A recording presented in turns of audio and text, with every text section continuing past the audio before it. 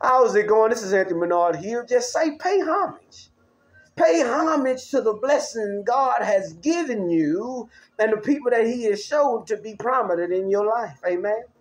See, sometimes you got to dig down deep.